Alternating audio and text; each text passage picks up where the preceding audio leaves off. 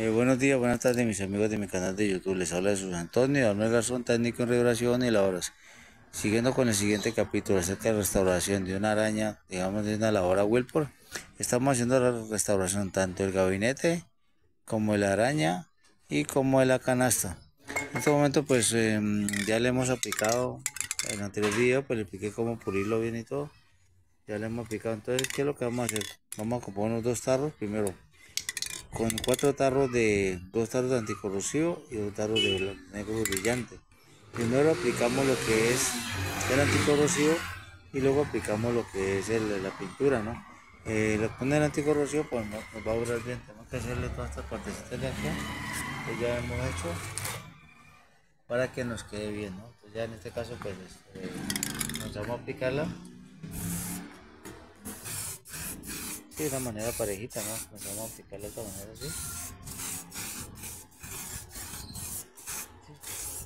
Luego de hacerle todas las partes iguales, primero ya le hemos aplicado el anticorrosivo, luego le echamos el luego ya comenzamos lo que es con el comenzamos con, el, con lo que es con el gabinete.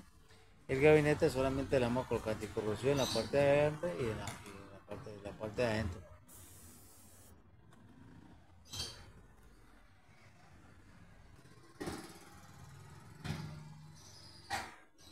Bueno, mis queridos amigos de mi canal de YouTube, ya están dándome un retoque final.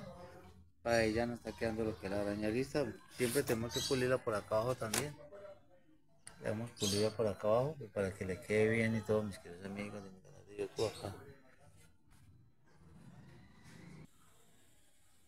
Bueno, mis queridos amigos de mi canal de YouTube, ya ahí les estoy dando más o menos, digámosle así, cómo me está quedando la restauración, en este caso de la araña por debajo, se pulió bien por debajo y todo.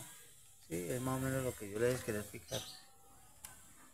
Cómo verdaderamente la restauración, cómo nos debe quedar. Una, verdadera restauración, en este caso una araña.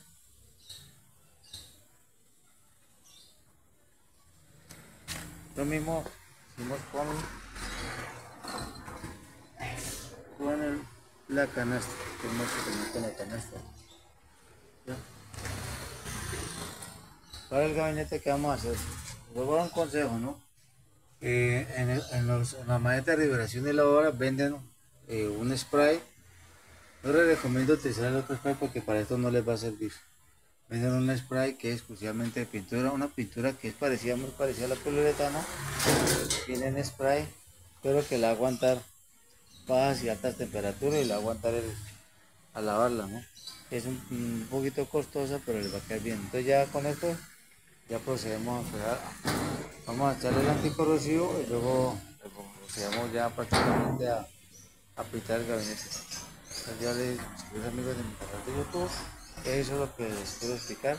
Ya en el próximo video ya les doy por lo que es finalizado cómo nos quedó el gabinete cómo nos quedó el gabinete. Agradeciéndole mucho por la atención prestada no olviden suscribirse a mi canal que se de una manera muy sencilla quiero explicar. Muchas gracias